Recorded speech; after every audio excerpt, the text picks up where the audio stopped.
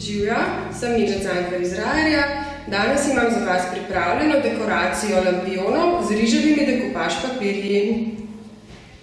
Danes bomo sestavili lampionček, ki ga lahko uporabimo kot dekoracijo prostora ali pa dejansko kot uh, senčnik za lučko, za žarnico.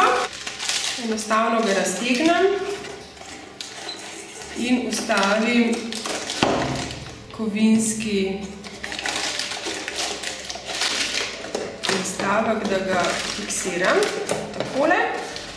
Zdaj, lahko bi ga imela kot dekoracijo samega, jaz pa ga bom okrasila z dekopaž riževim papirjem. Dekoracijo lampiona bom uporabila dekopaž lak in lepilo, primerno za obdelavo vseh materialov, od kartona do lesa, um, vezane plošče, stekla, res ni da ni. Zraven pa rižev papir, potiskan s cvetličnim motivom. In prednost pri tem riževem papirju je, da ga natrgam. Če rižev papir uporabljam na svetli podlagi, je bolje, da ga natrgam s prsti in ne uporabljam škari, ker s tem omogočim lepše prehode. Rižev papir je vlaknast in se res lepo natrga.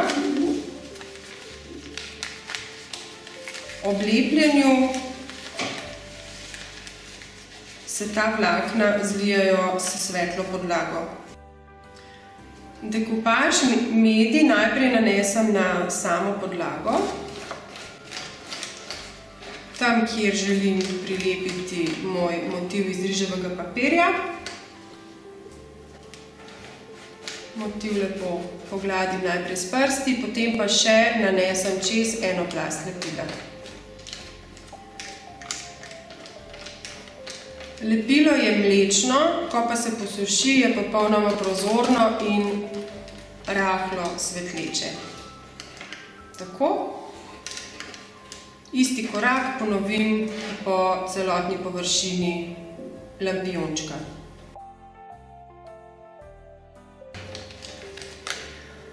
Dekopaž lepilo, ki ga uporabljam, je primerno za vse vrste materialov.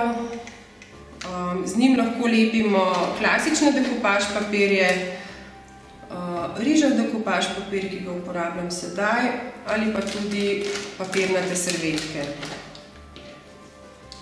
Uporabljamo ga lahko na različnih materialih, na lesu, na kartonu, na vezani plošči, na steklenih izdelkih, na glinenih izdelkih res izbira je pestra.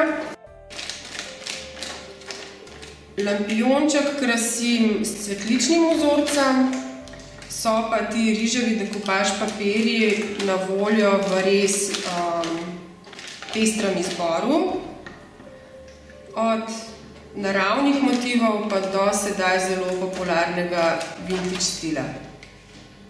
Tudi pri lepljenju večjih motivov, kot je naprimer tale cvet, je prednost riževih papirjev ta, da se lepo prilagajajo površini in gubice lahko zagladim s čopičem in jih popolnoma skrijem. Se pravi, na zgornji strani medaljončka lahko čez tale delček napeljemo električni kabel in imamo noter žarnico, lahko pa samo obesimo za vrvico in je to lepa popestritev prostora. Hvala za vašo pozornost, upam, da ste se naučili nekaj novega in se vidimo prihodnjič.